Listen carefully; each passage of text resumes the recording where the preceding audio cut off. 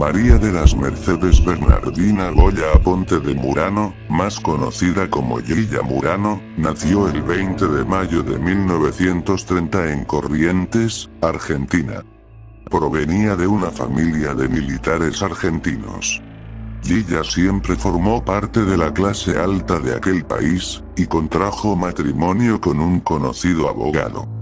Gilla era mitómana, y todo el tiempo creaba relatos que la gente creía, con un enorme poder de convencimiento.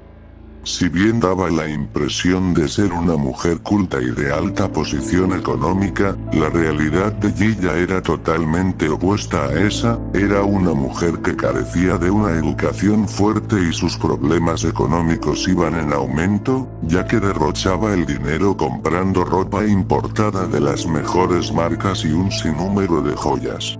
Pero ella no pudo solventar la vida que llevaba. Su esposo se separó de ella, y aunque le pasaba una pensión, el dinero siempre le faltaba, acostumbrada a ciertos lujos y comodidades, Lilla comenzó a endeudarse, sus amigas, a manera de broma, solían criticar a Lilla en su ausencia a causa de sus excesivos gastos, pero ella, con su poder de manipulación, logró convencerlas para invertir fuertes cantidades de dinero, obteniendo una tasa de interés más alta que la ofrecida por los bancos. Así consiguió que varias de sus amigas más cercanas pusieran todo su dinero en sus manos, y ella se convirtió así en la inversora de sus allegadas, quienes habían sacado todos sus ahorros del banco para confiárselo a ella, a cambio de pagarés. Gilla salía asiduamente con su prima, Carmen Zulema del Giorgio de Venturini, quien tiempo atrás había enviudado. El marido de Carmen era un importante empresario que había dejado, tras su muerte, una importante suma para que a su viuda, y a su hija, quien vivía con ella, no les faltara nada, la viuda y Murano, solían intercambiar regalos, Carmen le regalaba plantas a Gilla, quien a cambio le ofrecía unas sabrosas masitas de crema, populares galletas dulces argentinas, que ella misma preparaba, solían frecuentar juntas diferentes lugares, hasta que un enero de 1979 Gilla también convenció a su prima para que le confiara la suma de 20 millones de pesos argentinos, mismos que aseguró le daría a un amigo abogado de Mar del Plata, para que se los multiplicara de manera rápida y ventajosa. Según el pagaré que Murano firmó, el 27 de marzo del mismo año le devolvería cada centavo, incluidos los intereses. El viernes 9 de febrero de 1979, una de las amigas de Gilla que le había confiado su dinero, llamada Nilda Gamba, fue a cenar a la casa de los Murano. El sábado 10 comenzó a sentir dolores agudos en el estómago y náuseas, el médico que la atendió le diagnosticó intoxicación, y ella le mencionó al médico que había cenado con Gilla, Murano se ofreció a cuidarla, por la noche empeoró, entró en estado de coma y el domingo 11 de febrero falleció. Gilla buscó al doctor Tomer, el primero que la atendió, con el fin de que firmara el certificado de defunción, el médico se negó, alegando que él no había sido el último en atenderla, ante tal inconveniente, Gilla se dirigió a otro médico, quien sí aceptó realizar el trámite a cambio de dinero, la causa de muerte según el certificado fue paro cardíaco no traumático, lo cual evitaba la autopsia. Días más tarde, cuando ella debía devolver su dinero a otra amiga suya, Lelia Formisano de Ayala, Murano fue a su casa a tomar el té, y a pedirle que le ampliara el plazo para pagarle. Ambas decidieron irse de viaje juntas a Mar del Plata, el día 19 de febrero de 1979, Gilla Murano pasó a buscar a Leila por su departamento de la costa, cuando salieron, se cruzaron con Carlos Alberto Zamora, el portero de dicho edificio, una hora después, Gilla regresó sola al edificio buscando desesperadamente a su amiga. Ante la ausencia del portero, le preguntó a la esposa del mismo, Matilde Elena Fuentes, si había visto por ahí a su amiga Leila. Pero si salió con usted, le respondió la mujer claro, ya sé, pero ella tuvo que volver porque no se sentía nada bien. Ante la propuesta de la mujer de Carlos Alberto Zamora de ir a tocar el timbre a Leila, Murano se negó. No, no la quiero molestar, mejor que se quede descansando. Gilla volvió esa noche a buscar a su amiga para informarle que había comprado dos entradas para el cine, pero no tuvo suerte. Según ella, convinieron en encontrarse esa misma noche. Cuando Gilla y otras amigas fueron a buscarla a su casa, nadie contestó. El 22 de febrero de 1979, los vecinos del edificio se quejaron que del departamento ocupado por Lelia, salía un olor a putrefacción, y que nadie contestaba el timbre. Los porteros llamaron a un vecino e intentaron abrir la puerta, como había un pasador cerrado por dentro no tuvieron suerte, horas más tarde, la policía ingresó por el balcón contiguo al departamento, encontraron el cadáver sentado frente al televisor. A su lado había un plato con restos de pescado y una taza con un poco de té. En el refrigerador había un plato con masitas, también en este caso el mismo médico de la funeraria extendió el certificado de defunción. Declaró que se había tratado de un infarto de miocardio no traumático, en este caso tampoco hubo autopsia.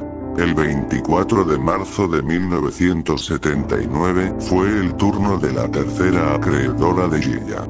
Carmen Zulema del Giorgio de Venturini, sintió náuseas y un profundo malestar. Desfalleciente, se arrastró hacia el pasillo del edificio de la calle donde vivía, pero presa del vértigo perdió el equilibrio y cayó por la escalera haciendo mucho ruido, el cual escucharon los vecinos y acudieron a socorrerla. En ese momento llegaba Gilla, quien preguntó a los vecinos si su prima había dicho algo antes de perder el conocimiento. José González, el encargado del edificio, no dudó en llamar a una ambulancia, mientras otros vecinos salían a ver qué ocurría. Gilla le pidió a José una copia de las llaves del departamento de su prima, afirmando, necesito su libretita para avisar a los parientes. Mientras buscaba se lamentaba en voz alta. Dios mío, es la tercera amiga que se me muere en poco tiempo. Gilla salió raudamente con un papel en la mano y un frasco en la otra. Eran las masitas que habían sobrado y el pagaré que había firmado. Carmen Zulema murió en la ambulancia, camino al hospital. Gilla iba con ella y le preguntó al médico si sería necesaria la autopsia pero los médicos diagnosticaron paro cardíaco. Las hijas de Carmen Zulema, se percataron de que entre las pertenencias de su madre faltaba el pagaré por un valor de 20 millones de pesos argentinos. La hija de Carmen Zulema comunicó sus sospechas a la policía y denunció la falta del pagaré, así como el hecho de que el departamento había sido revuelto por ella. La denuncia logró que el caso fuera cambiado de muerte natural a muerte dudosa. A causa de las presiones de la familia de la Occisa, se realizó una nueva autopsia. Los peritos descubrieron rastros de cianuro en el cadáver. De inmediato, los investigadores relacionaron el veneno con el supuesto frasco mencionado por el encargado.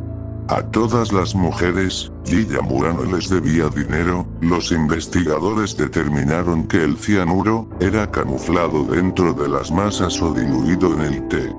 Al exhumar el cadáver de Nilda, también se encontraron restos de cianuro alcalino. Me parece que la Murano, las envenena con sus masitas dulces. Ambas fallecidas tenían esas masitas en la heladera, sostuvo uno de los investigadores del caso. El 27 de abril de 1979, la policía detuvo a Gilla Murano, en su domicilio, Gilla pidió permiso para ponerse un suéter y luego se la llevaron detenida. En los interrogatorios, Gilla jamás admitió haber matado a sus amigas. Pero por favor, si yo no sé cocinar, ¿cómo les iba a preparar masitas envenenadas? pero reconoció haberles pedido dinero, pero a manera de préstamo. La sentenciaron de inmediato, aunque ella siempre alegó que le había pagado el dinero a su prima y que ella le había devuelto el pagaré. Murano fue recluida en la cárcel de Ezeiza. Tenía una excelente relación con todas las presidiarias, que llegaron a adorarla y sostenían que era una buena mujer. Pero el fiscal Mario de la Vega Pizarro, tenía otra idea y pidió prisión perpetua para Gilla.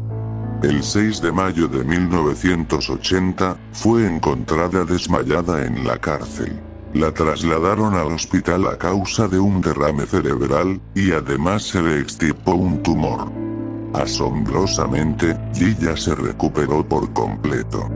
El 15 de junio de 1982, el juez de sentencia, Ángel Mercado, la absolvió de todos los cargos y la dejó en libertad. Pero el caso siguió a causa de la presión de los abogados de las familias de las víctimas.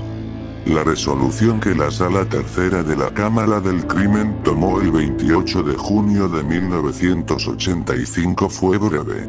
Los jueces sencillamente rechazaron un recurso extraordinario de apelación. Por esa resolución, quedaba condenada a prisión perpetua por triple homicidio, Gilla Murano, a quien para entonces los medios habían bautizado como la envenenadora de Montserrat, para ese entonces, no había juicios orales en la capital federal. Gilla Murano, que había sido absuelta en primera instancia, estaba libre, pero se ordenó su recaptura.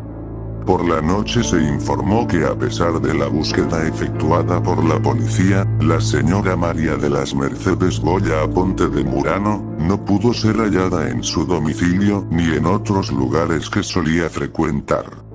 Pocos días después, Guilla, que ya había estado 3 a 3 años, volvió a la cárcel. Guilla fue declarada culpable el 28 de junio de 1985. A mediados de 1985, los periódicos argentinos seguían día a día el juicio a los ex dictadores militares, Gilla había sido casi olvidada, hasta que se le dictó sentencia condenatoria. Ella insistía en que era inocente. Nunca invité a nadie a comer, fueron siempre sus palabras por reducción de la condena, y la controvertida ley del 2 por 1, Gilla Murano salió de prisión. En 1993, se le conmutó la pena por 25 años de prisión por homicidio calificado por envenenamiento y estafas. Fue puesta nuevamente en libertad el 20 de noviembre de 1995, luego de 16 años de encierro. A los jueces que intervinieron en su puesta en libertad les envió, como señal de agradecimiento, una caja de bombones. No se sabe si alguno los probó. Hasta el 3 de febrero de 2003 disfrutó de su libertad condicional. Para entonces, el esposo de Gilla, había muerto. Su hijo, Martín, escribió un libro sobre ella que la mujer calificó como una difamación. Martín Murano, desmentía a su madre sobre su presunta inocencia. Ella me dijo que era culpable, que había matado, lo cual conté en mi libro sobre ella. Pero no la vi desde que salió, ni pienso verla. No me interesa. La escritora argentina Marisa Greenstein, la incluyó en su libro Mujeres Asesinas con el título Gilla Murano, amiga. En 2006, el programa de televisión Mujeres Asesinas le rindió una especie de macabro homenaje al recrear el caso en la famosa teleserie. Al final del episodio, Gilla Murano aparece defendiendo su inocencia y aportando supuestas pruebas a su favor. En la adaptación mexicana de la serie, el caso fue recreado en la segunda temporada con el caso titulado Tita Garza, estafadora. En 2008 hubo una nueva denuncia contra Gilla Murano, esta vez propulsada por su sobrina, quien aseguraba que su tía intentó envenenarla con un platillo de fideos con manteca.